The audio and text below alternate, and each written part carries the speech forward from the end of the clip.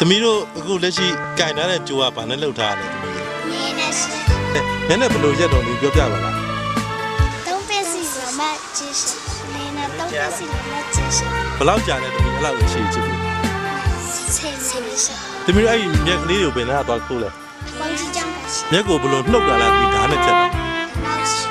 တို့အခုငါတို့တရားဘသူချစ်တာလဲအဲ့မြက်ကြိုးရအောင်ငါရလုံးကျင်းရှင်အခုအချိန်ဆိုရော ခိုးပြီးကြစ်ပြလို့ရလာတော့မြက်မြက်လေးခိုးပြီးနည်းနည်းလေးတော်တော်လေးကြစ်ပြနော်။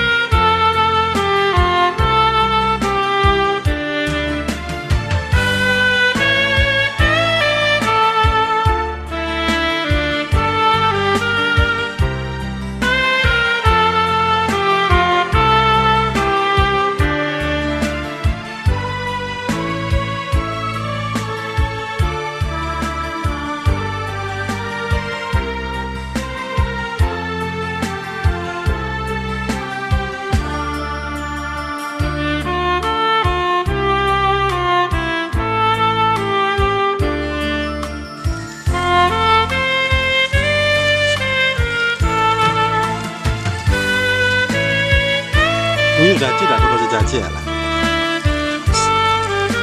မနက်မနေ့လောက်ကြာတယ်သမီး။သမီးတို့နေ့တိုင်းကြစ်ကြလား။ဟလာစော့ကန်နေမှာပေါ့။ဘသူတင်မေးလဲဒီမျက်နဲ့ကြိုးချစ်တာ 这边是 ။ဟလာလူကြီးစားဘသူတွေလဲ။မိဘလေ 是那边是 ။ဟလာသမီးမဒီကြောင်းပဲလား။ဘယ်နဲ့တန်းလဲ 小道士， ။ သမီးတို့ကဘယ်နဲ့တန်းလဲသမီးတို့၅ယောက်ကလေးတန်းရှင်ဒါ၄တန်းကျောင်းသူတွေပေါ့တော့တော်တယ်သမီးတို့ဒီလိုကြိုးပုံတဲ့ကစားနည်းတွေချက်ချန်တဲ့ကစားနည်းတွေပါကစားနည်းတွေအထောစီထိုးတိုင်းကိုပြောတာလား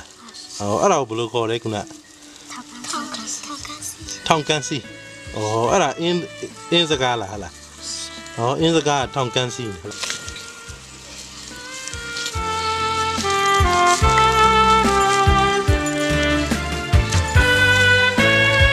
လေးချီလိုက်တယ်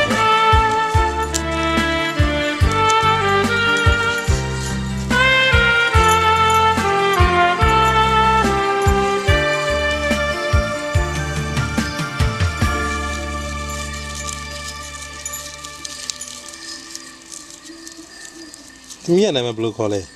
မိဦးသူရှင်ဘယ်လိုခေါ်လဲမိဦးသူမိဦးသူအော်ဒီဘက်ကသမီးလေးရောအပန်းလေးနဲ့